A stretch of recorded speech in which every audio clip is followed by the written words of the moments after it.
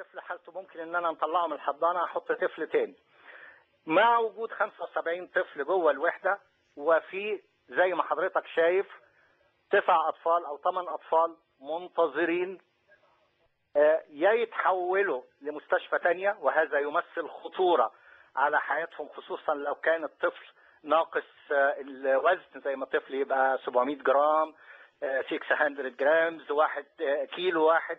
ده نقله من مستشفى لمستشفى ده يمثل خطر على حياته خاصة إن إحنا لسه ما عندناش في مصر اللي هو transport team اللي هو مسؤول عن الأطفال دي. آه، دكتور طبعا آه، دك- الطفل ممكن ينتظر دكتور مجدي أنا اسف أنا آسف للمقاطعه أنا يعني أنا عايز بس بعض النقاط المحددة من حضرتك. آه،. يا ريت تفرق لنا في البداية الفرق ما بين نقص الإمكانات والإهمال. طبعا إحنا عذرين إنه ممكن تكون بعض الإمكانيات مش موجودة عند حضرتك يا ريت تقول لنا إيه اللي مش موجود ومن إمتى مش موجود وليه ما تبلغش عنه إلا لما الصور طلعت واستغرق الأمر زيارة لطبيبين عسكريين من المنطقة الشمالية العسكرية وفي مقابل ذلك كم الإهمال آه، آه. آه، بالنسبة للإمكانيات هو الحمد لله خلال آه، الفترة اللي أنا كنت آه، يعني تشرفت برئاسة الوحدة الثلاث سنين إحنا الوحدة تم تحديثها بالكامل وفيها أحدث أجهزة التنفس الصناعي العالمية ويطبق فيها أحدث بروتوكولات العلاج لحديث الولادة. والحمد لله الأطباء اللي عندي بيشتغلوا 24 ساعة في ال 24 ساعة. هي مش موضوع إمكانيات زي ما هي في آه، يعني آه، مش عارف أقولها إزاي إنما هي فيها خلل إداري. مم. لأن أنا بلغت أكتر من 19 مرة. وهذا الكلام اللي أنا بقوله كله موثق بدوكيومنتس عندي سواء إذا كان عن لساني أو عن لسان حد تاني. حضرتك اديت ال- الوثائق دي للناس اللي زاروك النهارده لطبيبين الناس اللي زاروني النهارده خدوا بعضها ووريتهم بالتفصيل كل الخطابات اللي أنا خاطبت بيها الإدارة على مدار ثلاث سنوات. وما حاولت قبل كده هوت إن أنا أعرضه واقول أو أحاول إنقاذ الأطفال اللي حضرتك شايفهم الأطفال اللي حضرتك شايفهم دول ده وضع خاص في الطب لأن ده طفل. لا أمه جنبه ولا الأب جنبه والطفل ده هو أمانة في رقبة الناس اللي بتكير بيه. طيب. يعني الطفل ده هو اللي حضرتك نعم. شايفهم. نعم يا دكتور. نعم. ليه ليه الإدارة لم تستجب لحضرتك؟ والله حضرتك ده يسأل فيها الإدارة لأن أنا لما يعني خطبت الإدارة 18 مرة وآخرهم ثلاث خطابات لعميد الكلية ولرئيس الجامعة آخرهم الأسبوع اللي فات ولم يصلني أي رد واستأذنت في الخطاب اللي قبل الأخير. نستأذن من سيادتكم عرض الموضوع في وسائل الإعلام لأن دي قضية رأي عام وأنا لا أطلب مطالب لا, لا شخصية ولا فئوية. أنا كل ما يهمني إنقاذ أرواح بريئة يتم ولادتها في مستشفى الشطبي الجامعي ولا تأخذ الرعاية المركزة التي تحتاجها في مستشفى الشطبي الجامعي. طيب ال ال حضرتك الوفد هي الطبي دي هي دي حاجة غريبة إن أنا طيب. أطلبها. طيب دكتور آه، الوفد الطبي العسكري اللي التقى بحضرتك النهارده في المستشفى هل التقى بأحد آخر داخل المستشفى؟ آه في ال- إدارة ال- الوحدة هو بعد كده انتقلوا آه، واجتمعوا بإدارة الوحدة. آه، ما أعرفش ما عنديش أي تفاصيل عما تم بينهم وبين الإدارة ال- الرسمية المعينة في الوحدة. طيب أنا في آه، آه، تقارير آه، أنا مش متأكد من صحتها لكن وصلتني بعدها. حضرتك بتقول إن حضرتك شغال في المستشفى من سنة 2007 من شهر لا يوليو. مش 2007 حضرتك اصلحها أنا شغال في الوحدة من سنة 1979 من 1979 أنا رئيس الوحدة من 2007 طيب ده ده جميل جدا ده جميل. أيوة. آه، أنا عايز أسأل حضرتك لأن وصلتني بعض المعلومات اللي أنا مش متأكد منها. أيوه. إنه كان في شبهه تعمد للتمادي في الإهمال لأنه كان في ناس آه، من كبارات البلد على أعلى مستوى عايزين يحطوا إيديهم على الأرض اللي عليها المستشفى. أيوه الكلام ده مظبوط؟ آه، شوف حضرتك يعني أنا ما أقدرش أقول يعني بإن دوجماتيك واي يعني أو بقرار قاطع هذا الكلام إنما هو أنا على مدار السبع ثمان تسع عشر 12 سنة اللي فاتت كنت كل ما اطالب بتوسع في الوحدة وده طلب من اللي أنا طالبهم أو من الاقتراحات إن أنا لازم أتوسع في الوحدة. أنا عايز الوحدة دي تبقى 150 حضانه 200 حضانه كان بيقابلني رد لا الوحدة آه، ما نقدرش نتوسع علشان المستشفى ديت ممكن تتشال. ده هذا الكلام. ممكن تتشال. يعني يعني الكلام اللي وصلني الكلام اللي وصلني آه، يعني آه، في شيء من الصحة على أكيد الأقل. طبعا أكيد طبعا أكيد. وهو ده اللي يفسر إن إحنا دلوقتي كان في آه، آه، مكان توسعه جزئية للوحدة تشمل 12 ل 16 حضانة. حضرتك قعدوا يرتبوا ويجهزوا فيها 8 شهور. وبعد كده هو أما جم يوصلوا الكهرباء لا قالوا لا دي اللوحة الأساسية بتاعة المستشفى لا تتحمل. طب هي كانت الإدارة فين في كل الوقت ده؟ يعني حاليا دلوقتي حضرتك لو تيجي تتفضل تتشرفني تزورني أو يعني أنا مصور هذا الكلام إن غرفتين كانوا ممكن يسعوا ل 16 طفل و 16 حضانة وتم شراء أجهزة وتجهيزهم تكلف 5 مليون. وبعد كده هوت الإدارة الهندسية جات لي وقالت لي لا والله إحنا الكهرباء مش هنوصلها علشان اللوحة الرئيسية لمستشفى الشاطبي لا تتحمل هذا ال- ال- اللود عليها. طب لا يا ريت بقى حضرتك تقول لي يعني الكلام التاني اللي سمعته علشان يعني نحاول نكمل الصورة مع بعض. أيوه. آه، يعني آه، كان بيقال لحضرتك إنه المستشفى ممكن يتشال أيوه. ي- يهدم. أيوه. ومن ثم حضرتك كنت بت- بتلاحظ رغم الشكاوى المتكررة من من حضرتك لسنوات طويلة أيوه. آه، إنه لا يتم آه، تدعيم الإمكانات أو التوسع في آه، مشروعات حضرتك أو زملاء ليك ممكن تكونوا آه، طالبتوا بيها. أيوه. هل وصل وصل لكم أي معلومات أخرى مثلا عن هوية الناس اللي ممكن يكونوا مهتمين بأن المستشفى تتشال لا لا والله ليه لا, لا أساسا؟ لا ابدا. ده أنا حتى الإدارة السابقة أنا مرة يعني قمت سألت رئيس الإدارة المركزية السابق مش اللي موجود دلوقتي يعني قلت له أنت في أمر مباشر عندك إن مستشفى الشاطبي مش هتكون موجودة؟ نفى هذا الكلام. مم. قلت له يبقى ما دام أنت بتقول لي كده هوت يبقى مفروض إنك أنت بقى تستجيب إن إحنا عايزين نتوسع وخصوصا إن أنا عندي مكان ممكن يسع 60 70 80 حضانة طيب. وهذا المكان مهجور بقاله خمس سنين جميل دكتور آه، علشان بس طبعا الوقت آه، آه، بتاع حضرتك وبتاعنا برضو يعني أنا عايز من حضرتك دلوقتي وصفة سريعة على المدى القصير لإنقاذ أيوة. الأطفال دول اللي شفنا صورهم حالا ورؤيتك ل آه، آه، حتى لا يتكرر هذا المنظر مرة أخرى. حاضر. أنا الكلام ده هو كتبته أكتر من مرة ولم أجد أي أذان صغير. نمرة واحد. نمرة واحد. البدء فورا في توسعة الوحدة من ناحية جناح ستة. وده شافه العميد ورئيس الجامعة في زيارة من سنة وما اعترضوش ما اتعملش فيه حاجة. نمرة اثنين التحقيق الفوري في سبب تأخر تشغيل التوسعة الجديدة بالوحدة من ناحية قسم النساء والولادة. وذلك نتيجة ادعاء الإدارة الهندسية عدم قدرة اللوحة على تحمل الأعباء الكهربائية. ده لازم يتعمل تحقيق في هذا الكلام ويتم هذه التوسعة لأن ده أنفق عليه ما يقرب من 4 مليون جنيه وده ما حاجة تحل الأجهزة الرقابية في الدولة. نمرة ثلاثة مساعدة إدارة الوحدة أو هيئة التمريض فورا بمد الوحدة بعدد من التمريض يكفي للرعاية 55 ل 75 ل 80 طفل. مش معقول إن أنا أشوف في بالليل إن في 70 طفل وسبعة هيئة تمريض بترا- بتراعيهم. إزاي؟ واحدة لعشرة طيب يعني في دكتور، العالم كله واحد لواحد واحد لاثنين واحد لثلاثة يبقى بعد أكتر من واحد لأربعة. ده مفيش هذا الكلام. ده مش لا جودة ولا تطوير ولا ولا حاجة خالص ولا رعاية مستشفيات ولا إدارة. البنات بتموت البنت بتخش تيجي تلاقي 70 حالة وأنا هقعد عليها. لا بتروح بتعيط. دكتور مجدي سؤال أخير. آه،. أنا أنا شخصيا وصل لي آه، يعني آه، تساؤلات كتير من الناس عايزين يتطوعوا عايزين يساعدوا بأي شكل أو آخر. آه، هل ده ممكن يكون اقتراح عملي لإنقاذ الموقف على الأقل الموقف الراهن؟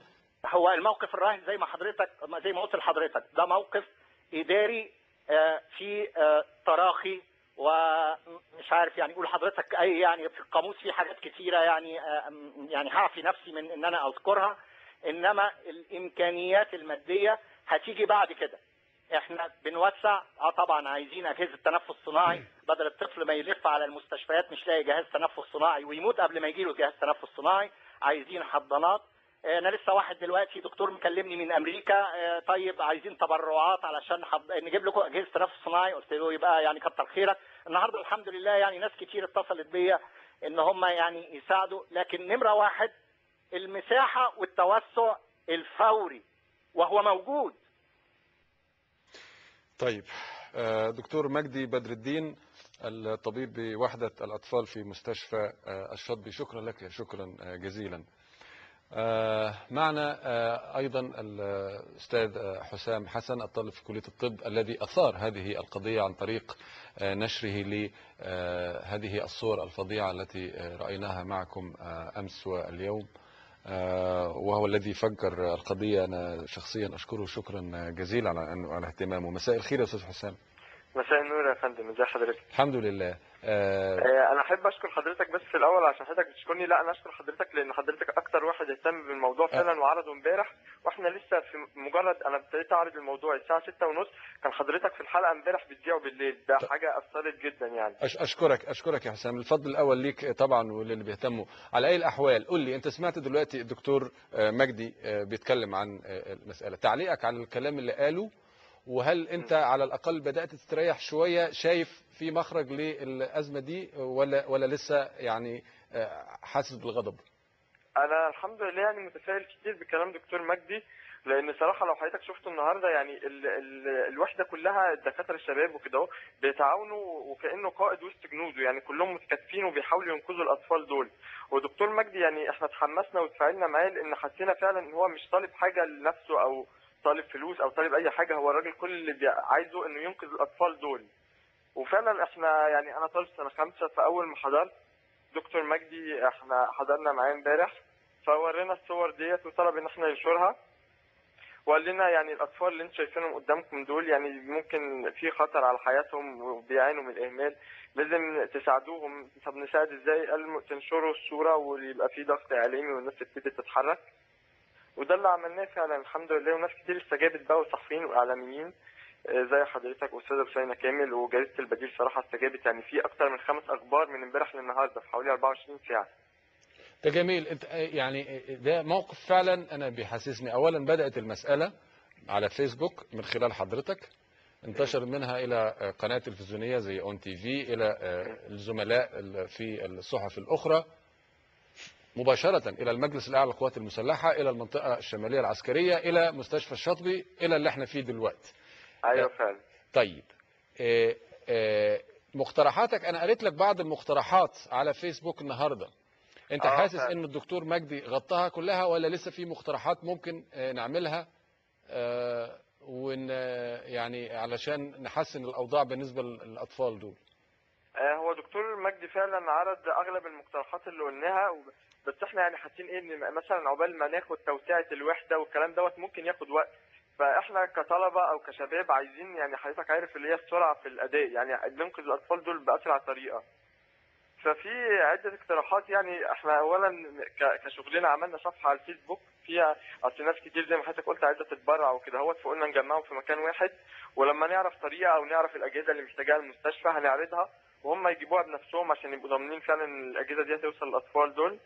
في حاجة تانية اللي إحنا برضو في اقتراح يعني تقدم بيه بعض الناس زي ما حضرتك زي ما دكتور مجدي قال لحضرتك إحنا محتاجين ممرضات ضروري وبسرعة. ففي حل إن إحنا مثلا يعني ممكن وزير الصحة يساعدنا بإن في ممرضات ساعات بيبقوا زيادة في أقسام في ممرضات فيها زيادة إنما القسم دوت حرج ومحتاج ممرضات فعلا. فلو يقدر وزير الصحة يساعدنا بإن المستشفيات تقدم لنا يعني ممرضات يساعد يساعدوا في الوحدة في الوقت دوت ده دي نقطة مهمة جدا. وفي طلبة فعلا اتفاعلوا وابتدوا الطلبة يلموا من بعض ويتبرعوا وبنشكر كل الناس اللي اتبرعت. وفي حتى يعني لو موضوع الممرضات ده هيتأخر عشان إحنا محتاجين بجد نتصرف بسرعة في طلبة كمان عرضوا إن هم يتطوعوا في ياخدوا نبطشيات. يعني هم بنشتكي دلوقتي ممرضات بس طبعا الطلبة ما عندهمش تأهيل كافي زي الممرضة إن هي تتعامل مع نعم. سن زي دوت. فاحنا يعني المفروض دلوقتي حد يتصرف في الممرضات عشان الوحدة تشتغل والاطفال دول حد يعتني بيهم. إن شاء الله. حسام أنا أشكرك مرة أخرى شكرا جزيلا على اهتمامك بالقضية وإصرارك على إن هي توصل للإعلام وبكل تأكيد زي ما بننتقد أحيانا زي ما أحيانا بناخد على خاطرنا من بطء بعض الإجراءات من قبل المجلس الأعلى للقوات المسلحة. يعني تحية تقدير وشكرا جزيلا للمجلس الأعلى للقوات المسلحة اللي يبدو ان هو أصدر تعليماته للمنطقة الشمالية العسكرية اللي تحرك منها آه، آه، طبيبان عسكريان للتحقيق في آه، هذه آه، المسألة.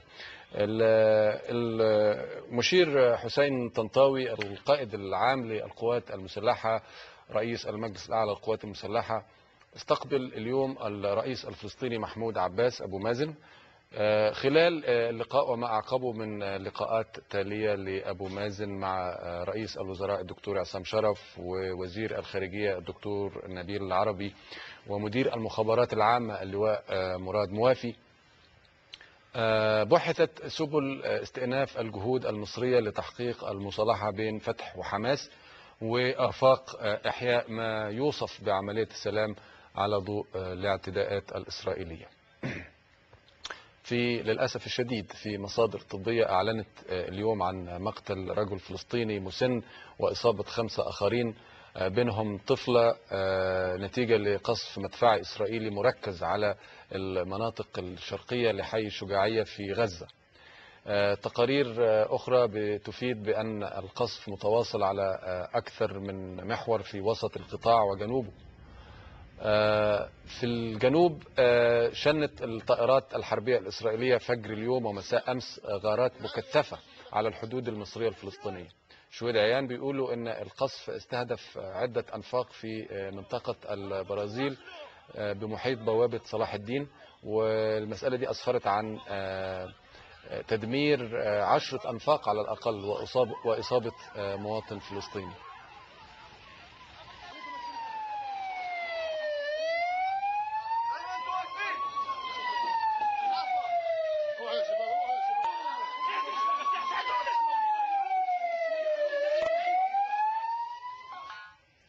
آه، لمزيد من التفاصيل معنا الآن آه، آه، الزميل آه، أحمد أبو دراع مراسل أون تي في في رفح. مساء الخير يا أحمد. مساء الخير أستاذ يسري. آه، ماذا- لديك من تفاصيل عن هذا الهجوم الإسرائيلي يعني قرب الحدود المصرية الفلسطينية؟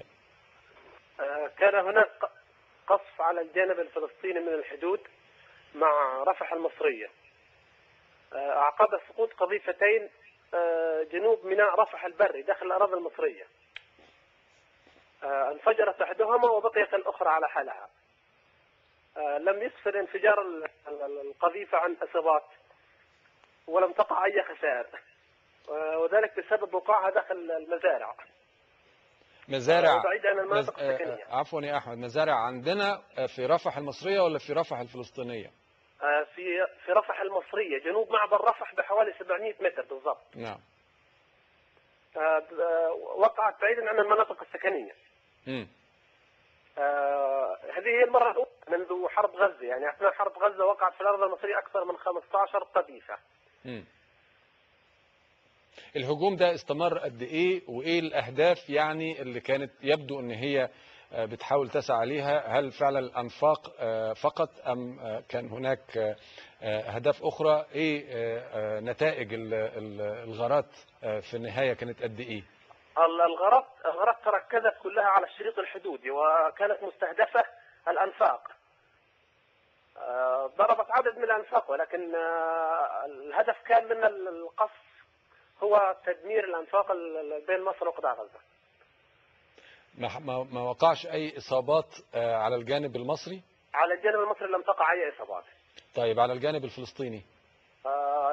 لا أدري آه، إصابات على الجانب الفلسطيني ولكن الجانب المصري لم تقع فيه إصابات طيب آه، إيه رد فعل الناس في آه، سواء في منطقة آه، رفح المصرية آه، أو. بشكل عام في في آه، في منطقة شمال سيناء على حدث زي ده رفح آه، هلع شديد أنتاب المواطنين هناك آه، خاصة أنها آه، هذه ثاني تجربة أثناء حرب غزة كان هناك آه، هروب من منطقة رفح إلى مدينة الشيخ زويد والعريش.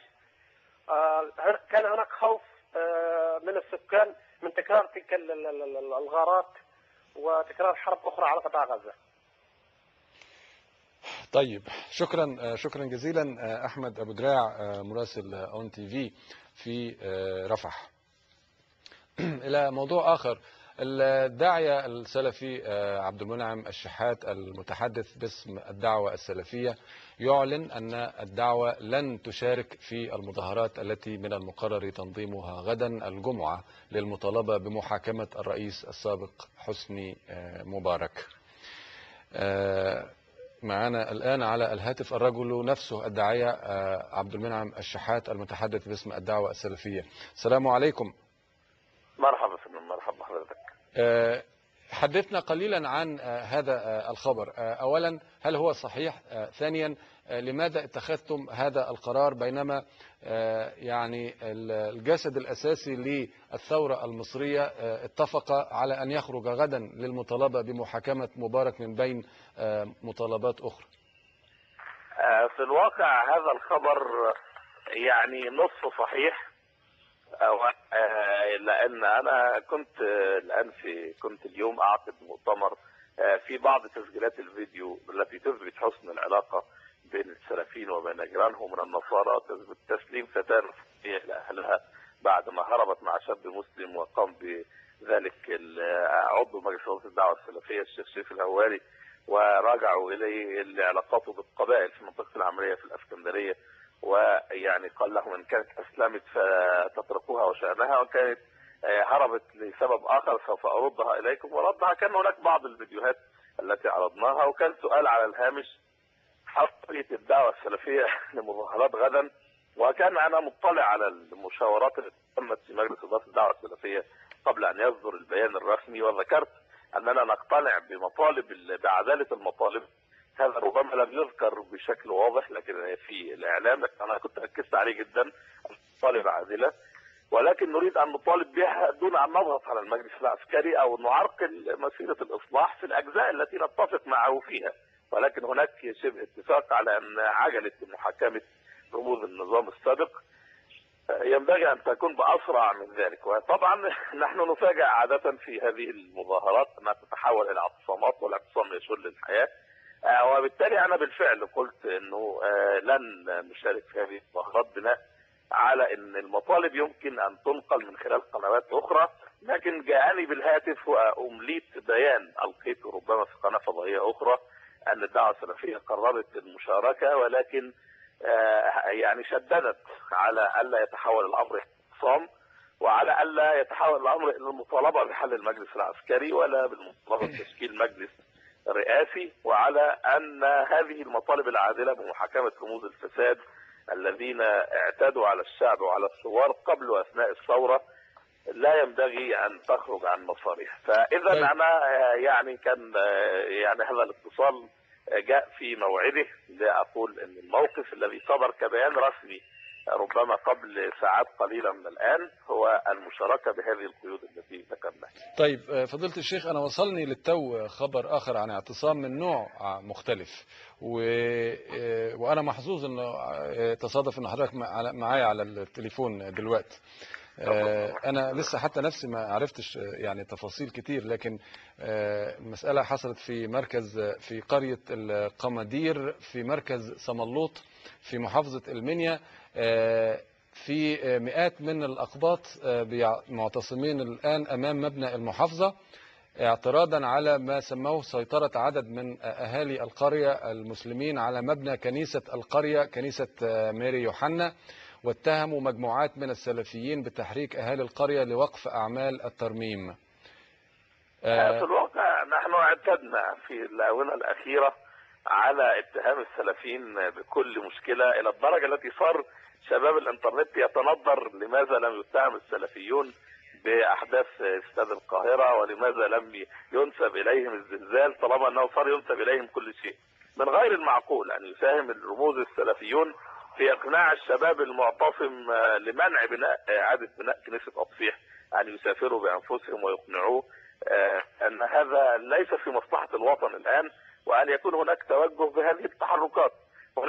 لا لا نستطيع أن نرجم بالغيب. يعني حضرتك الآن تقول أنت جاءك طيب. هذا ممكن أستأذن حضرتك؟ وأنا, وأنا أيضا افاجئ به الآن. نقول أنا على, فوجئت على نفسي. الإعلام أن يتحرك نعم. وعلى الجميع أن يتثبت. وإذا وجدنا أن هناك شباب سواء سلفي أو غير سلفي قام بالفعل بشيء كهذا نحن لابد أن نتحرك كمجتمع يريد أن يئد الفتنة بإقناع هؤلاء الشباب أن هذا الموقف غير صحيح وإنه إذا كان هناك أحد تعدى سلطاته نطالب السلطات أن تتعامل أن تستعمل سلطاتها القانونية في كل الأحوال ولكن دائما يكون هناك يعني قدر من التعتيم أو قدر من اسمح لي إن أحيانا يكون السبق الصحفي آه، يعني أو السبق الإعلامي بيطغى على المصداقية. نحن لا نستطيع أن ننفي أو نثبت ولكن غاية ما نقول إنه إذا ثبت إن هناك أي شخص مسلم سلفي أو غير سلفي تعدى على كنيسة فنحن على استعداد أن نساهم قدر إمكاننا كجزء من الجماعة الوطنية. نحاول أن نائد الفتنة أن نقول له اتق الله في الوطن ليس هذا هو الإسلام وليست هذه السلفية. جميل. وحتى لو افترضنا جدلا إن هناك حتى اعتراضات كان بيحصل أحيان كتير آه، كنيسه بدون ترخيص أو نحو ذلك كل من له اعتراض القانون جعل هناك قناة للاعتراض وهي بلاغ للنائب العام وليس ان أن يكون هناك شطار يكون هناك رقي في التعامل مع المخالفات طبعا صح. حتى ربما قبل البلاغ للنائب العام. وبالتالي نحن سنتابع. أنا آه، لتوي عرفت ذلك من حضرتك وسنتابع وإن شاء الله سيكون لنا موقف يتفق مع كل مواقفنا السابقة. طب ممكن استاذن لأننا نسارع إلى وأد الفتنة كلما وجدنا لها فتيل في أي أستأذن حضرتك بس خليك معانا على التليفون لو سمحت لأنه معانا اتصال آه، من آه، أعتقد من سملوط في في في المنيا الأستاذة ماجي عدلي. الأستاذ نادي عدلي أنا آسف. وهو ناشط آه، حقوقي. آه، مساء الخير يا أستاذ نادي. أستاذ نادي؟ طيب هنحاول نكلمه تاني. فضيلة الشيخ آه، يعني يعني إحنا حريصين إنه دايما نحط الأمور في حجمها. زي ما من يمكن فضيلتك آه، لاحظت إن أنا قلت ما سما ما سموه الأهالي. الأهالي هم اللي طلعوا دلوقتي آه، مئات قاعدين قدام مبنى معتصمين قدام مبنى المحافظة في المنيا. وبيقولوا إن ده ال ال آه، الكلام اللي حصل. وأنا يسعدني إنه حضرتك توجه كلمة الآن آه، لهؤلاء المعتصمين في أمام من من المسيحيين أمام مبنى المحافظة. وأيضا هؤلاء الذين جعلوهم يتوجهوا إلى مبنى المحافظة بهذه الشكوى. اولا إذا كان هؤلاء المعتصمين أمام مبنى المحافظة اعتصام سلمي آه، فأنا أقول لهم آه، يعني لا أحد يستطيع أن يمنعهم من الاعتصام السلمي للتعبير عما يرونه حقا لهم. ولكن دائما أطالب الجميع بذكر ال- ال- ال- بالبحث عن جذور الأزمة. إذا كان هذه مثلا كنيسة بدون ترخيص فالأفضل أن يتدخل العقلاء ويطالبوا الجميع باحترام القانون حيث تستطيع السلطات أن تتدخل في هذه الحالة لتفرض على المخالف للقانون أن يقبله.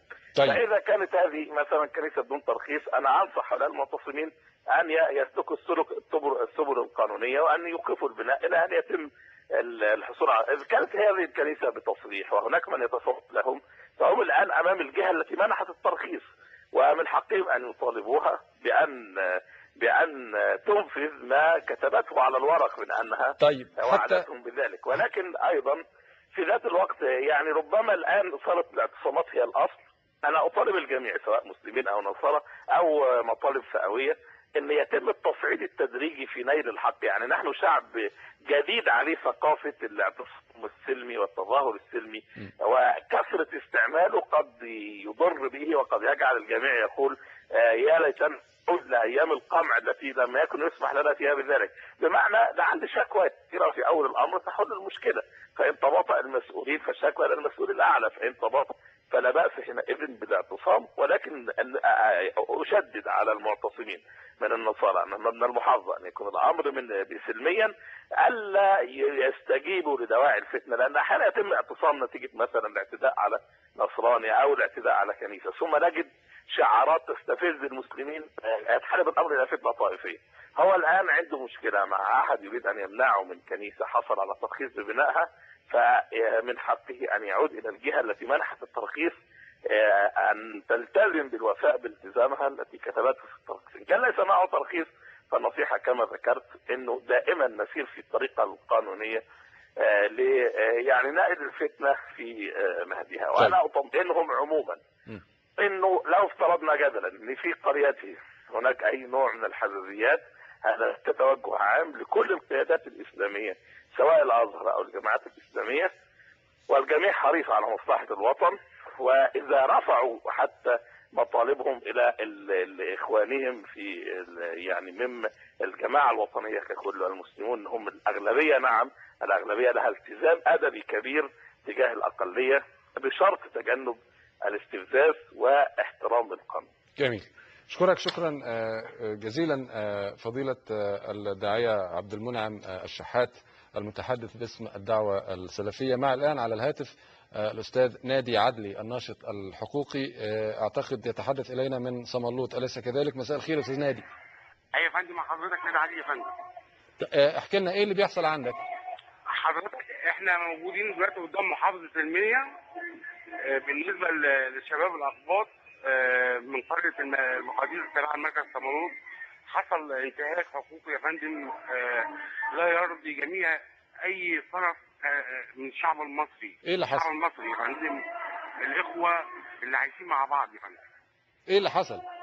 اللي حصل يا فندم إن حصل آه، في يوم من يوم ثلاث أيام آه، وجود ابن العمدة ابن عمدة القرية آه، ينادي الناس في المسجد للتعامل مع الكنيسة آه، بالقوة وعدم وغلق الكنيسة وعدم دخول الاقباط الكنيسة.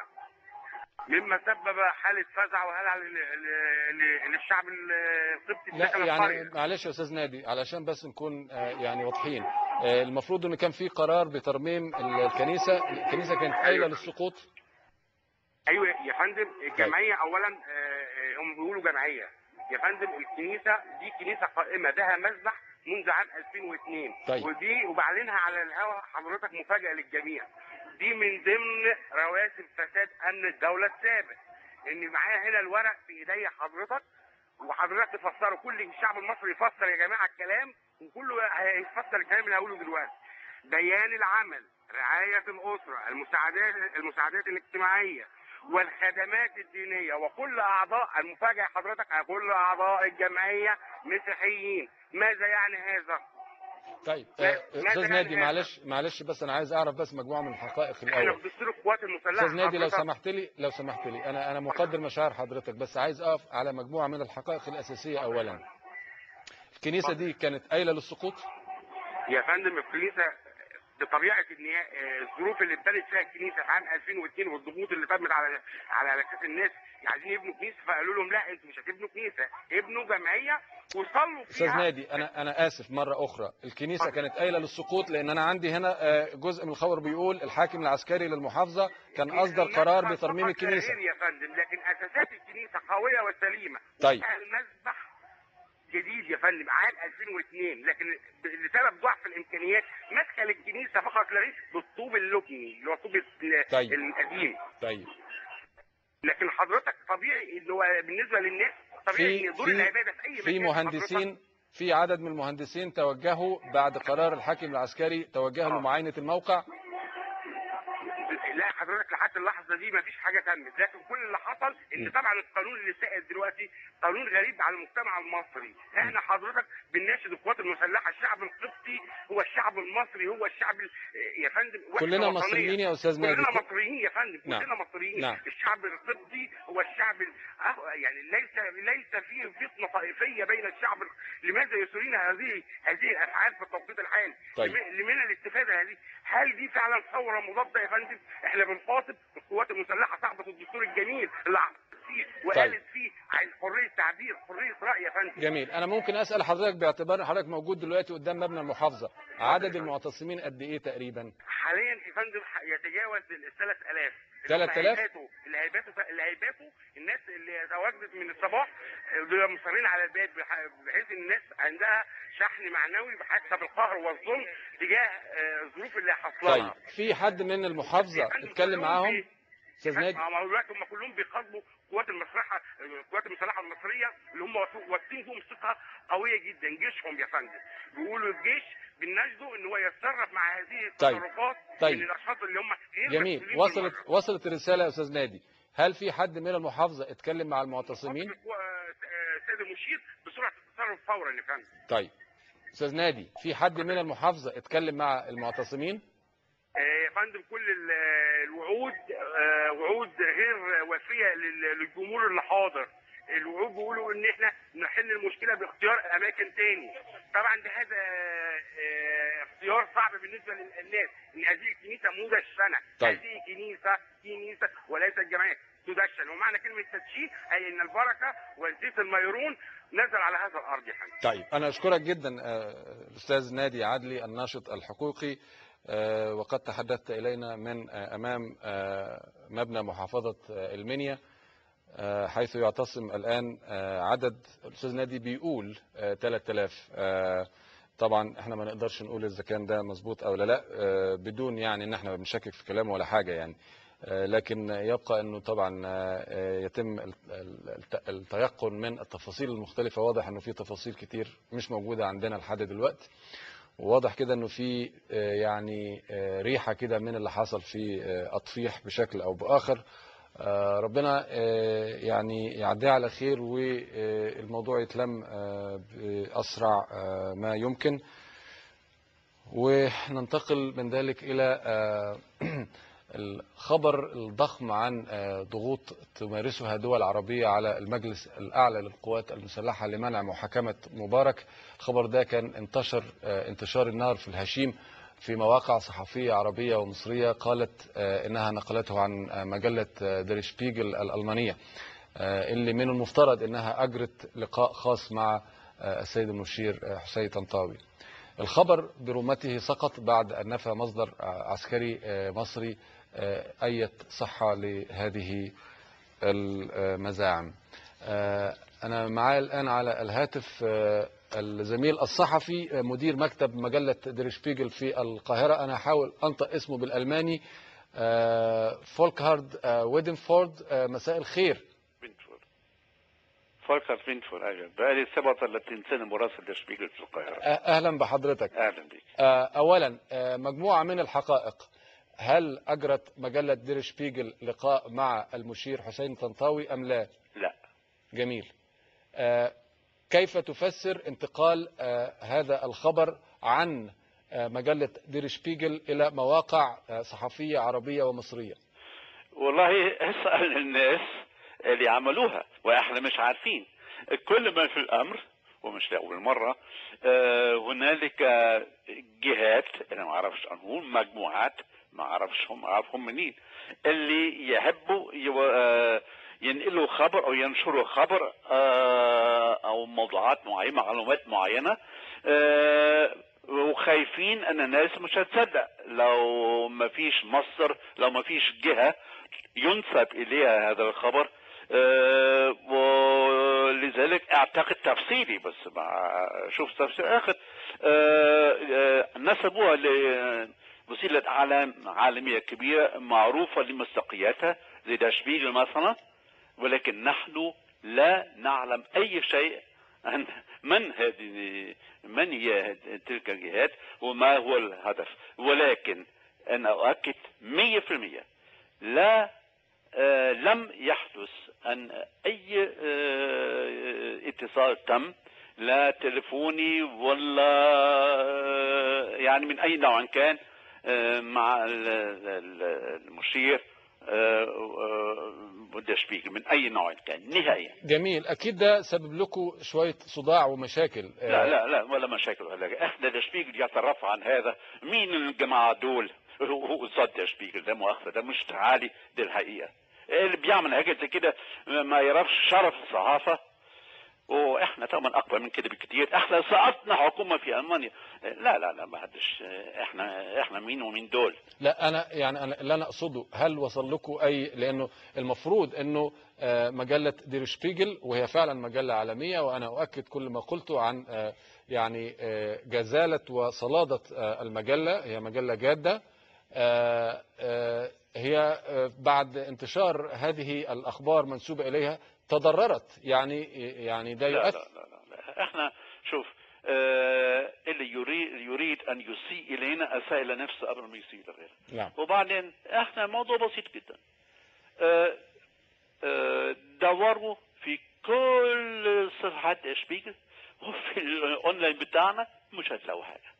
بس اذا التساؤل بقى مش تساؤلنا إحنا. دول ناس آه، استخدموا آه، اسمنا. آه، ظنا من أن مصداقية تشبيل قد يساعدهم في النشر وإقناع آه، جمهورهم. ولكن إحنا ما طيب.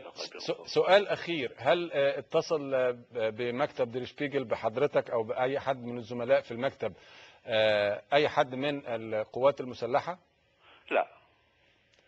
شكرا. آه، يعني أجبت وأفدت. آه، ممكن أطلب من حضرتك تنطق اسم حضرتك لأن أنا لو نطقت ألماني يعني ما هبهدله أقدرش حاجة. أنا معروف بأبو صلاح الألماني. اسمي فولك هارت فينت فور شكرا لك شكرا جزيلا. آه، مدير مكتب مجلة دير شبيجل في القاهرة. آه، طيب معنا خبر بقى المرة دي مؤكد وهو خبر آه، جيد. فبعد ساعات قليلة سترسو في ميناء سفاجة المصري على البحر الأحمر السفينة السياحية ماري كوين 2 وهي أكبر سفينة سياحية في العالم. طولها حوالي 350 متر. سفينة قادمة من آه، جنوب آه، شرقي آسيا وعلى متنها حوالي 3000 سائح من مختلف الجنسيات. السلطات المصرية أعدت لهم برنامج سياحي معتبر.